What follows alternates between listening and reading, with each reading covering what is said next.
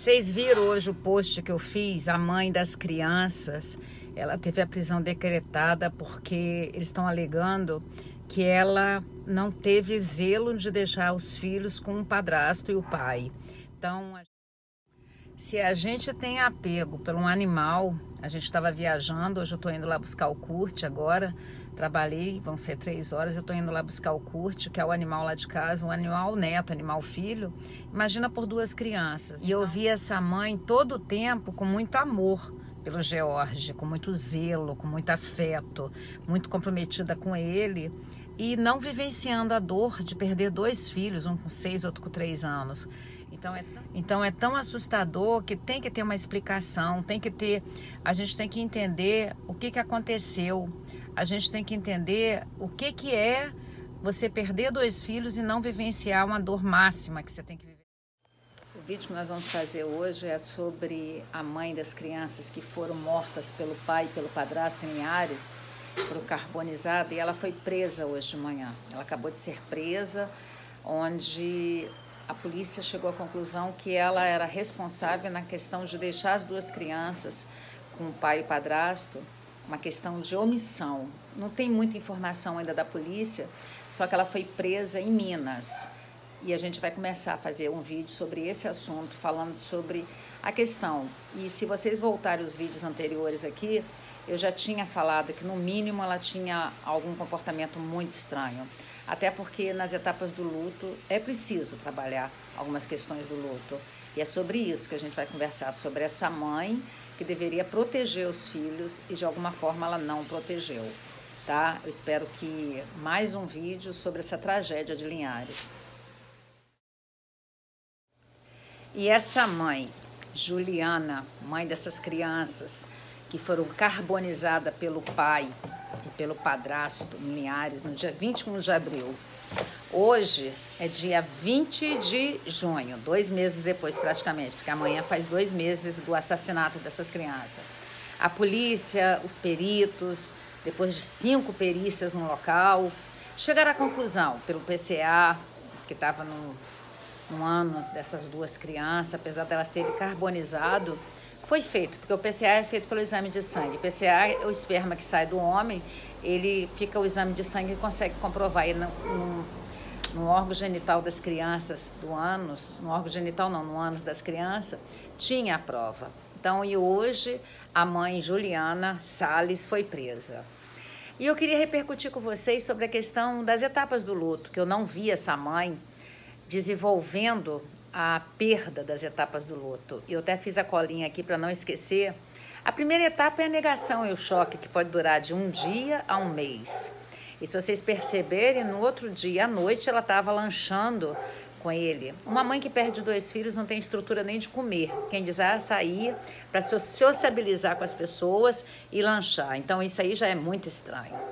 É muito estranho que eu vi ela com muito afeto com esse cara, com esse George com muita generosidade, com muito compadecimento. Se ela é uma mãe narcisista ou não, não sei, só o tempo dirá. É tudo muito estranho que a gente pode dizer. E hoje, no dia 20 de junho, ela foi presa de manhã em Minas, em Teófilo Otoni. Ela estava na casa de uns pastores lá, para onde ela tinha viajado no dia que as crianças tinham sido mortas. E, assim, eu só consegui ver dor nela depois que ele foi preso, que eu consegui perceber ela com certo desespero. Então, a primeira etapa do luto é a negação. A segunda etapa do luto é a raiva. Raiva dele não ter protegido as crianças, raiva das crianças terem sido mortas, raiva de as crianças não estarem mais com ela. E essas etapas do luto, a Elizabeth que descobriu essas etapas do luto, uma psicóloga que descobriu através de vários estudos científicos, é, foi feito a, um estudo muito grande quando as pessoas perdem as pessoas que elas amam. Então, a gente tem que entender que não é tão fácil assim. A terceira etapa do luto é você começa a negociar, negociar com a morte, negociar com a saudade, por que, que eu fui, por que, que eu viajei. E isso tudo dura muito tempo. Depois, a quarta etapa do luto é uma depressão que dá dentro das etapas do luto. E finalmente para você aceitar. Mas isso não acontece assim, ó. Por mais que você tenha fé, por mais que você tenha essa, esse temente a Deus, como eles falam que eles são, a revolta é natural, porque no plano espiritual você crê em Deus, mas nós somos carne e nós temos uma alma, um psiquismo. Na neurociência já explica que tudo está no cérebro, no sistema límbico, nossa emoção está toda no sistema límbico. Então, como que isso poderia acontecer? Então, ela foi presa considerando que ela não teve por essas crianças o zelo que deveria ter. E eu tive o desejo de gravar imediatamente esse vídeo. Lá no Instagram do Instituto Cássia Rodrigues já tem essa fala que quando ela foi presa cedo, eu já postei, porque eu tenho esse compromisso de também repercutir as coisas que estão na mídia. Como essa menina do Patins que foi morta, é tudo muito estranho. Os pais que deveriam estar protegendo os filhos não estão protegendo. Que sociedade é essa que a gente está vivendo? Uma sociedade narcisista que está produzindo seres narcisistas.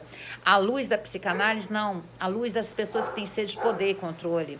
Não é epistemologicamente à luz da psicanálise esse termo narcisista. Usando lá do mito de Narciso da filosofia, então, não estou usando o saber do Freud para explicar, estou usando mais o saber do Alexandre Lau, do livro O Narcisista, para falar até das mães narcisistas, dos pais narcisistas. Como a sociedade é uma sociedade extremamente narcísica, narcísica não é aquela pessoa que tem exibicionismo com o corpo, que a gente confunde narcisismo com aquelas pessoas que têm um exibicionismo com o corpo, não é isso. Narcisismo são aquelas pessoas que têm sede de poder e controle. Compre o livro O Narcisista de Alexandre Lau, que você vai entender bem o que eu estou falando. E finalmente, a quinta etapa do luto é a aceitação. Mas isso passa um ano mínimo de tempo, não um dia. Impossível em um dia os dois já estar com aquela aceitação. É impossível em um dia os dois já, já terem aceitado a morte dessas crianças. Então, eu estou fazendo esse vídeo no local que eu estou esperando. Sabe quem que eu estou esperando? O Golden Retriever lá de casa. Imagina, o Golden Retriever que a gente estava viajando.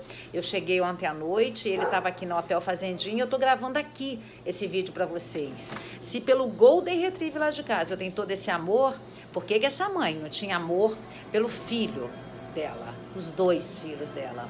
Então, gente, desconfie desse amor raso que os pais têm pelos filhos. Desconfie tudo que não é profundo. Tudo que não é profundo não é amor. Porque o amor constrange, o amor incomoda, o amor tem dor. O amor é aquilo de Coríntios, 1 Coríntios 13. O amor todo sofre e não do jeito que eles passaram. Então, hoje nós conversamos sobre as etapas do luto que você vivencia quando vocês têm perdas.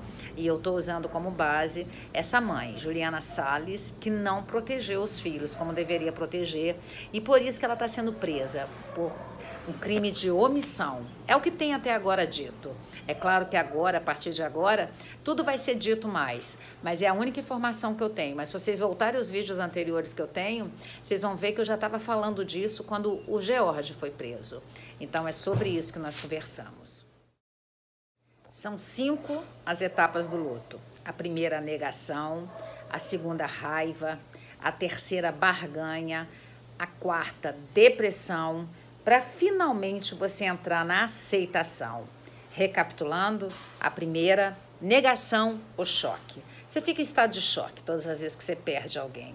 Segundo lugar, raiva. Terceiro, negociação. Quarto, depressão. E finalmente, aceitação. E lembre-se que isso demora até um ano, no mínimo, para acontecer. No mínimo. Então, não é tão simples você perder uma pessoa que você ama e continuar de boa continuar crendo que Jesus é maravilhoso. E Jesus é maravilhoso. Mas todas as perdas têm dores muito fortes. Lembra de Davi, quando perdeu Absalão? Ele chorou, pranteou, gritou, se escondeu de tanta dor. Então, se a Bíblia é cheia de personagens que perdem seus entes queridos e sofrem muito, o que, que é? A gente tem que ser maior do que o que Deus deixou na Bíblia pra gente? Então, esse meu lado teólogo para explicar a vocês. Não vamos ser mais espirituais do que Deus, né? Porque às vezes a gente está querendo ser mais espiritual do que Deus. E com certeza esses pais não tiveram pelos filhos aquilo que eles deveriam ter, porque são crianças e crianças têm que ser protegidas, tá?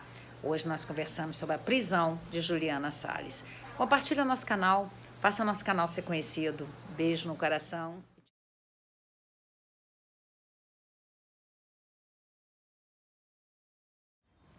Ai, que coisa mais linda, gente! Que coisa mais